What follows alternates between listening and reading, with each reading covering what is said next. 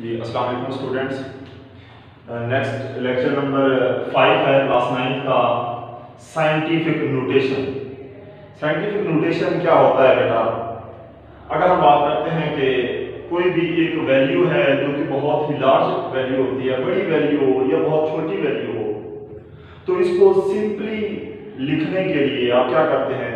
तो simple word में लिखने के लिए सिंप्लीफाई करके लिखने के लिए टेन की पावर में तो टेन की पावर में किसी भी वैल्यू को लिखने के लिए आप क्या कहते हैं? इस मेथड को साइंटिफिक नोटेशन कहा जाता है। या इसकी डेफिनेशन बेटा हम रीड करते हैं। In scientific notation a number is expressed as some power of ten किसी भी वैल्यू को टेन की पावर में लिखने के लिए multiplied 10 multiplied by a number between 1 and 10 1 और टेन के दरमियान में किसी भी नंबर को आप टेन की पावर में जब लिखते हैं तो इसको क्या कहते हैं? साइंटिफिक नोटेशन कहा जाता है। फॉर एग्ज़ाम्पल अब बुक में लिखा हुआ एग्ज़ाम्पल है कि 62750 62750 ये आपके पास बड़ी वैल्यू है, यानी 62750 ये एक नंबर है। तो इसको आप लिख सकते हैं 10 रेज की पावर में 62.75 मल्टीप्लाई बाय 10 रेज की पावर आप यहाँ से, जब पॉइंट यहाँ पे इसका लास्ट में पॉइंट होता है, यहाँ से आप लेफ़्ट साइड पे मूव कर रहे हैं 1 2 3 3 नंबर आप लेफ़्ट साइड पे मूव किया तो 10 रेज की पावर 3 जब भी बेटा आप लेफ़्ट साइड में मूव करते हैं तो 10 रेज की पावर जो है, वो पॉजिटिव में इंक्रीज होती है. और जब भी पॉइंट से आप राइट साइड पे मूव करते हैं, जितने नंबर आप राइट साइड में मूव करते हैं, उतनी 10 रेज की पावर माइनस काउंट की जाती है। यहाँ हमने 3 पॉइंट तो यहाँ 10 रेज की पावर 3 या इसको हम ये भी लिख सकते हैं 6.275 मल्टीप्लाई बाय टेन रेज की पावर यहाँ पे देखिए लास्ट पॉइंट है तो आप लेफ़्ट साइड पे कितने पॉइंट मूव करके जा रहे हैं? 1 2 3 4 फोर्थ पॉइंट आप लेफ़्ट साइड पे मूव किए हैं तो आप लिख सकते हैं 10 रेज की पावर 4 तो इसको आप क्या करते हैं? कि ये आपके पास साइंटिफिक नोटेशन में लिखा है। इसी तरह कोई भी आप और इसकी एग्जांपल ले सकते हैं बेटा। स्पीड ऑफ़ लाइट की अगर आप बात करते हैं तो speed of light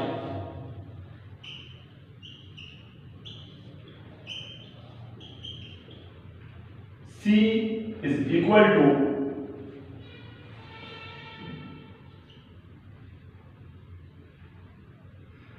thirty-eight, one, two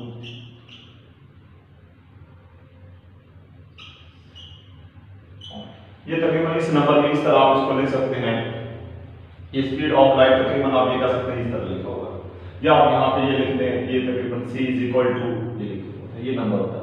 अगर इसको आप इस तरह काउंट करेंगे ये बहुत बड़ी वैल्यू है तो आप इसको 10 रेज की पावर 3 मल्टीप्लाई बाय 10 रेज की पावर 1 2 3 4 5 6 7 8 एक पॉइंट आप लेफ़्ट साइड पे मूव किया तो इसको आप लिख सकते हैं 10 रेज की पावर 8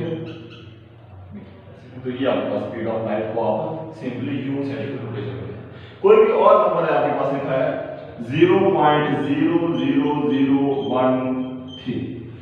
कोई भी एक ये नंबर है इसे लिखा तो आप उसको साइंटिफिक नोटेशन में सिंपलीफाई करके लिखना चाहते हैं तो 1.3 मल्टीप्लाई बाय 10 रेज की पावर कितने पॉइंट राइट साइड में मूव करेंगे? यहाँ पे पॉइंट है तो 1 2 3 4 फोर पॉइंट आप राइट साइड में मूव करके गए तो 10 रेज की पावर माइनस 4 तो इसको आप साइंटिफिक नोटेशन में यूँ लिख सकते हैं। इसके साथ बेटा टॉपिक है 1.6 टॉपिक है।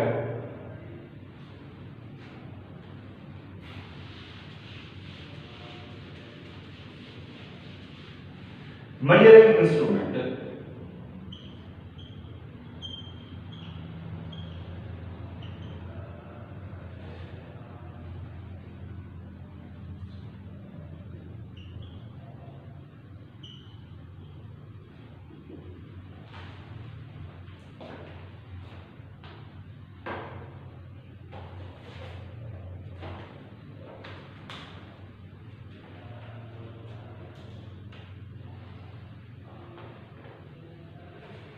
यहाँ पे नज़र या करो रिपोर्ट की आप देख देखेंगे।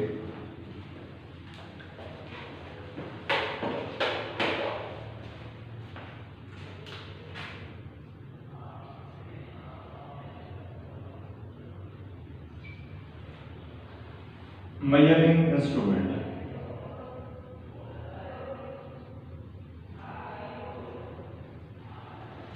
मेजरिंग इंस्ट्रूमेंट की बात करते हैं तो ऑल फ़िज़िकल क्वांटिटीज तमाम फ़िज़िकल क्वांटिटीज कौन से हैं? ऑल मेजरेबल क्वांटिटीज होती हैं तो तमाम मेजरेबल क्वांटिटीज को मेजर करने के लिए की पैमाइश करने के लिए जो भी इंस्ट्रूमेंट यूज़ किए जाते हैं, जो भी आलात आप इस्तेमाल करते हैं, इसको आप क्या कहते हैं? मेजरिंग इंस्ट्रूमेंट कहते हैं। जैसे कि हम बात करते हैं लेंथ मेजरिंग इंस्ट्रूमेंट होते हैं मैस्ट मेजरिंग इंस्ट्रूमेंट होते हैं एंड टाइम मेजरिंग इंस्ट्रूमेंट होते हैं। जो भी फ़िज़िकल क्वांटिटी है, तमाम फ़िज़िकल क्वांटिटीज को मेजर करने के लिए आप रिस्पेक्टिवली इंस्ट्रूमेंट को यूज़ करता है। तो यहाँ पे कहते हैं मेजरिंग इंस्ट्रूमेंट तो सबसे पहले अगर हम बेटा बात करते हैं लेंथ मेजरिंग इंस्ट्रूमेंट कौन से होते हैं? Length measuring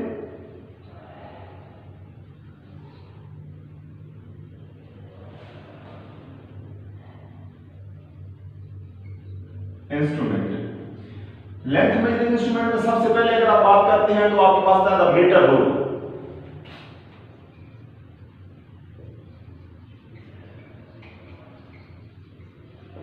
मीटर रूल बेटा कहता है कि अगर आपने कोई भी दो पॉइंट्स के दरमियान में, दो पॉइंट्स के दरमियान का डिस्टेंस आपने मेजर करना है।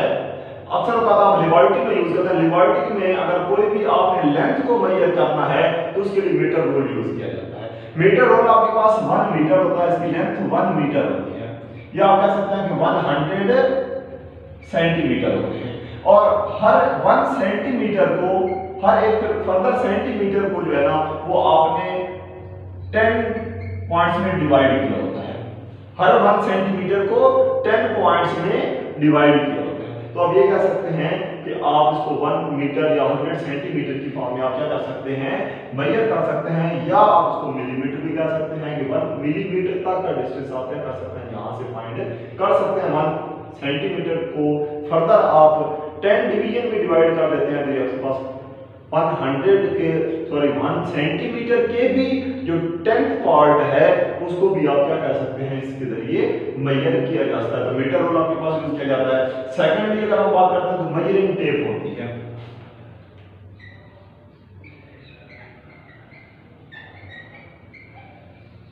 Measuring tape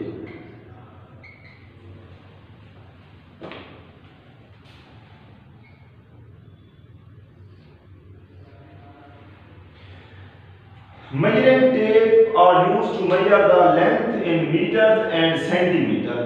अगर आपने लेंथ को मीटर एंड सेंटीमीटर में मेजर करना है तो उसके लिए आप कहते हैं मेजरिंग टेप को यूज़ किया जाता है, जो कि अक्सर आप इसके लिए कह सकते हैं कि ब्लैकस्मिथ एंड कारपेंटर्स जो होते हैं, इसको यूज़ करते हैं and the measuring tape consist of the thin and the long strip इसमें आपके पास थिन और लॉन्ग स्ट्रिप होती है, जिसमें डिफरेंट लेंथ की आप मेजरिंग टेप यूज़ कर सकते हैं। इसके लिए 10 मीटर की होती है 20 मीटर की होती है 50 मीटर की होती है एंड 100 मीटर की मेजरिंग टेप होती है। वो जो भी डिजायर्ड आपने मेजरिंग लेंथ को मेजर करना तो उसके लिए जो भी मेजरिंग टेप है, उसको आप यूज़ कर सकते हैं। और measuring tape are mark in the centimetre as well as inches और इसमें इंच भी होते हैं और इंच के ज़रिए भी और सेंटीमीटर में भी आप इसको फाइंड कर सकते हैं। 10 मीटर की होती है 15 metre 20 metre 50 metre and 100 metre की मेजरिंग टेप आपके पास मौजूद होते हैं, जिससे कोई भी अपने लेंथ को मेजर करना होता है। इसके बाद इंतहाई इंपॉर्टेंट बेटा नेक्स्ट आपके पास मेजर लेंथ मेजरिंग इंस्ट्रूमेंट में हम बात करते हैं। अगर इससे भी कम लेंथ को मेजर करना इससे भी कम लेंथ को अगर आपने मेजर करना है तो उसके लिए ऐसी डिवाइस होती है वर्नियर कैलिपर्स को कहा जाता है। अगर आपने बहुत ही छोटी कोई लेंथ है, जैसा कि आप ये कह सकते हैं, कोई भी आपके पास एक स्केल है, उसकी आपने लेंथ फाइंड कोई एक वायर है वायर की स्मॉल वायर है, उसकी लेंथ है, उसका डायमीटर फाइंड करना है तो इसके लिए आप कहते हैं वर्नियर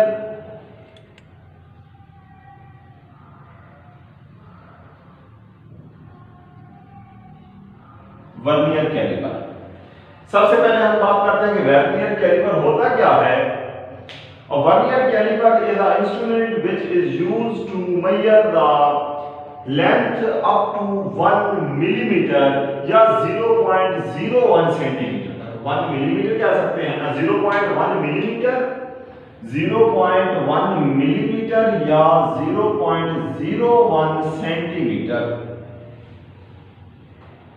अगर आपने यहाँ तक की वैल्यू मेजर करनी है a measuring instrument which is used to measure the length up to 0.01 centimetre is called vernier callipers vernier callipers आपके पास ऐसे एक इंस्ट्रूमेंट होता है जिसके ज़रिए आप क्या कर सकते हैं? कम से कम इतने तक इतनी एक्यूरेट वैल्यू इसको लीस्ट काउंट भी कहा जाता है।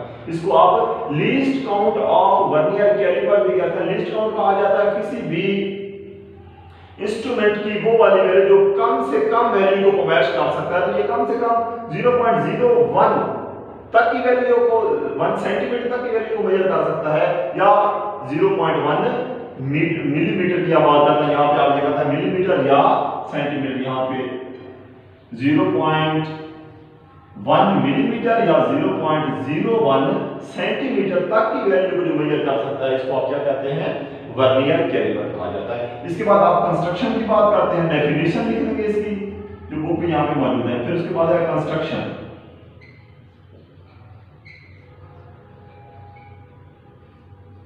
इट कंसिस्ट टू जार्ज इसके लिए मैं आपको बड़े वर्नियर कैलिपर दिखा भी देता हूँ। यहाँ पे ये हमारे पास वर्नियर कैलिपर मौजूद है।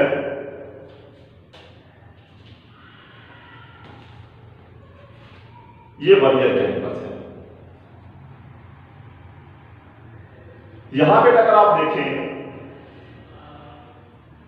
इसके टू जॉज होते हैं। इट कंजिस्ट टू जॉज एक आपके पास ये और एक आपके पास ये सेगमेंट होता है। It consist two jaws with metre reading आपके पास रीडिंग क्या होती है? एक आपके पास मेन स्केल रीडिंग होती है और सेकंड आपके पास वर्नियर स्केल रीडिंग होती है। मेन स्केल रीडिंग जो आपके पास फिक्स्ड जो होता है, टू जॉज में एक आपके पास फिक्स होता है और सेकंडली आपके पास मूवेबल होता है। एक फिक्स जार के साथ जो रीडिंग मौजूद होती है, जो स्केल मौजूद होता है, इसको आप क्या कहते हैं? मेन स्केल रीडिंग या मेन स्केल आप कहा जाता है। और जो मूवेबल होता है, इस मूवेबल के ऊपर भी आपके पास नंबरिंग होती है। Zero, half, one one point five, two two point five three यानी इसको मजीद आप हैं zero point zero five millimetre तक आपने यहाँ पे डिवाइड कर सकते हैं। Each step zero point zero five होता है। मेन स्केल रीडिंग के ऊपर आपके पास वैल्यू होती है। वो सेंटीमीटर में गिवन है। One centi zero one centimetre two centimetre three centimetre और इस तरह आपके पास यहाँ पे ये चल जाता है। वहाँ से अगर हम बात करते हैं टोटल तो इसके लिए आप हैं, एक फिक्स्ड इसके लिए मूवेबल टू जॉस होते हैं, एक आपके पास फिक्स होता है सेकंड आपके पास मूवेबल होता है, ये आपके पास यहाँ पे नाउ मौजूद होता है, जिससे आप क्या करते हैं, इसको टाइट करके फिक्स कर दिया जाता है। और इसके बाद हम इसकी कंस्ट्रक्शन कंप्लीट लिखने के बाद, बेटा नेक्स्ट हम इसके साथ लिखेंगे इसकी वर्किंग क्या होती है। Working of a vernier calliper working के लिए आप क्या करते हैं कि कोई भी एक वैल्यू है, उसको आपने मेजर करना है तो मेजर कैसे किया जाएगा? वर्किंग क्या होती है?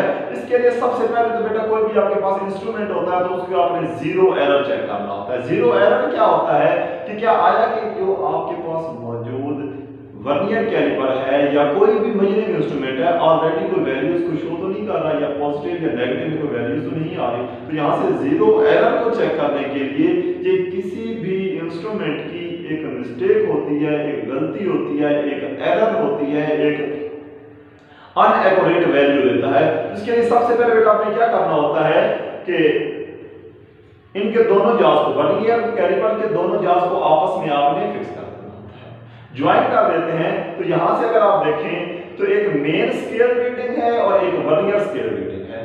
Main scale reading and vernier scale यहाँ से बेटा मैं अगर आपको करीब से दिखा सकूँ तो ये आपके पास मेन स्केल रीडिंग है और ये सेकंड ये आपके पास वर्नियर स्केल रीडिंग है। मेन स्केल रीडिंग और वर्नियर स्केल रीडिंग दोनों के जो ज़ीरो हैं, एक मेन स्केल का ज़ीरो है और सेकेंडली वर्नियर स्केल का और मेन स्केल का ज़ीरो है। ये दोनों एक दूसरे के साथ लाइज कर रहे हैं तो फिर आप ये कह सकते हैं कि आपके इस इंस्ट्रूमेंट की जो ज़ीरो एरर है, वो ज़ीरो होगा। कोई वैल्यू शो नहीं कर। रहा हाँ यहाँ से अगर पॉजिटिव है लेफ़्ट साइड पे या राइट साइड पे अगर कुछ ना कुछ वैल्यू शो कर रहा है तो फिर इसमें ज़ीरो एरर मौजूद होता है। उसके लिए कितने भी पॉइंट्स होते हैं नंबर ऑफ़ डिवीजंस होती हैं। नंबर ऑफ़ डिवीजंस को आपने लीस्ट काउंट के साथ मल्टीप्लाई करवा देना होता है और ये वैल्यू आपके पास ज़ीरो एरर मौजूद होती है। अगर ज़ीरो एरर आपके पास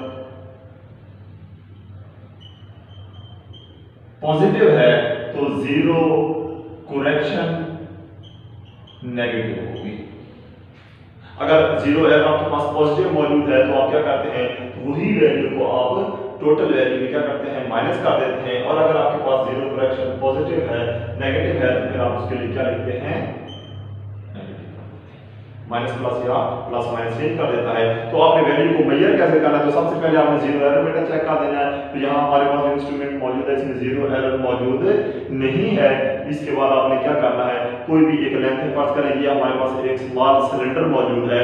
इस स्मॉल सिलेंडर की हमने लेंथ को मेजर करना है। तो इसकी लेंथ को मेजर करने के लिए आप क्या करते हैं? इसके दो जो वर्नियर कैरी पास के दोनों जाज में आप प्लेस कर देते हैं। और यहाँ से आपने कंप्लीट टाइट करके यहाँ से इसको मज़बूत कर देना है, ताकि यहाँ से ये जो सिलेंडर है, ये अब यहाँ पे बेटा दो वैल्यूज़ होती हैं। एक मेन स्केल रीडिंग होती है, एक वर्नियर स्केल रीडिंग होती है। मेन स्केल रीडिंग की सबसे पहले आपने सेंटीमीटर यहाँ पे कितने सेंटीमीटर आपने इसके लिए काउंट करें? तो यहाँ पे जो आपके पास मौजूद है ज़ीरो कहाँ पे लाइज कर रहा है। तो one two two point one two three four five four और फाइव के दरमियान में है। 2.4 एंड 5 के मिड में है तो 2.5 नहीं लेंगे, बल्कि 4 लेंगे, बाकी वैल्यू हम क्या करते हैं? यहाँ से काउंट तो आपके पास main scale reading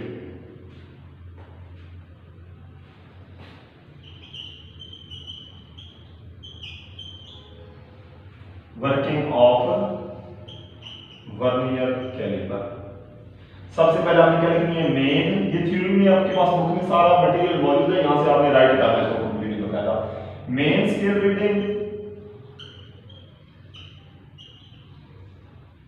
2.4 सेंटीमीटर इसके बाद हम आते हैं vernier scale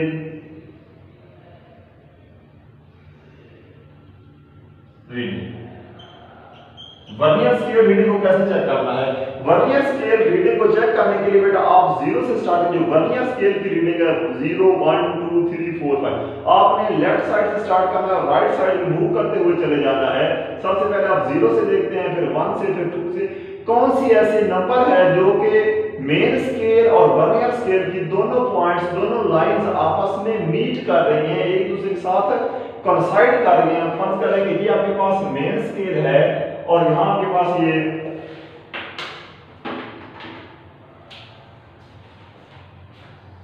ये मेन स्केल है और यहाँ आपके पास ये फ़र्ज़ करें कि ये वर्नियर स्केल है। ये मेन स्केल है और ये आपके पास वर्नियर स्केल मौजूद है।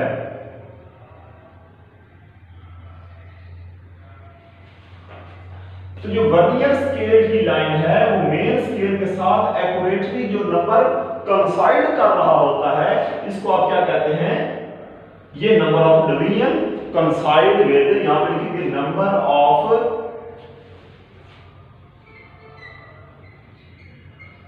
division coincide with main scale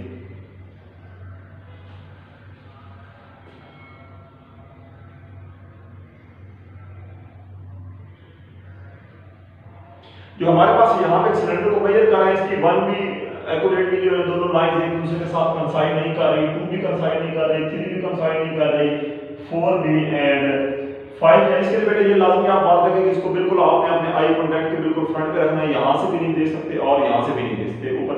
यहाँ बिल्कुल आपके आई के फ्रंट पे होना चाहिए। तो यहाँ पे जो फाइव है वर्नियर स्केल की फाइव फिफ्थ डिवीज़न जो है नंबर ऑफ़ फाइव डिवीज़न जो है, वो ऊपर वाले किसी भी लाइन के साथ ही, ऊपर वाले मेन स्केल को आपने देखना कौन सी है?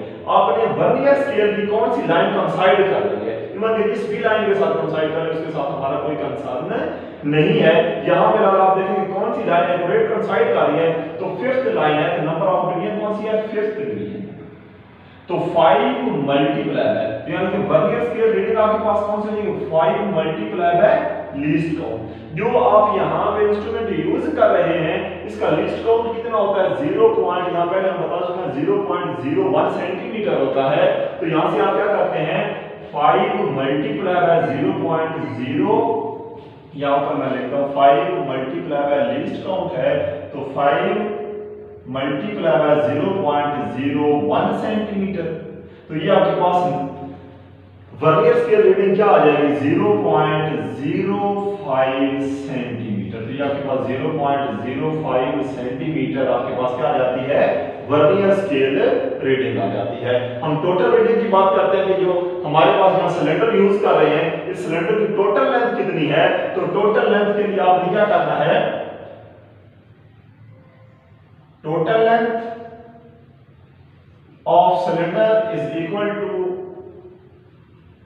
main scale reading plus vernier scale reading तो ये टोटल आपके पास main scale 2.4 centimetre plus 0.05 centimetre तो ये टोटल आपके पास हो जाएगा 2.45 सेंटीमीटर तो यहाँ से ये आपने एक्यूरेट इसकी वैल्यू फाइंड अगर ज़ीरो एरर पॉजिटिव होता या नेगेटिव होता तो उसकी वैल्यू आप यहाँ से प्लस या माइनस यहाँ आपके पास ज़ीरो एरर जो है ज़ीरो करेक्शन भी आपके पास ज़ीरो ज़ीरो एरर ज़ीरो है तो ज़ीरो करेक्शन भी ज़ीरो होगा। तो यहाँ से आपने क्या करना है 2.45 centimetre plus minus zero correction zero है ज़ीरो करोगे तो टोटल आपके पास वैल्यू 2.45 सेंटीमीटर ही बन जाती है। तो आप ये कह सकते हैं ये जो सिलेंडर था, इसकी आपके पास बतानी है कैरी पर सिलेंडर की जो लेंथ आपने मुझे कि वो इतने सेंटीमीटर है। तो यहाँ से आपके पास बेटा बुक पे अगर आप देखें, यहाँ पे टोटल थ्योरी आपके पास मौजूद है वर्नियर कैलिपर्स के लिए इसकी डेफिनेशन है कंस्ट्रक्शन है,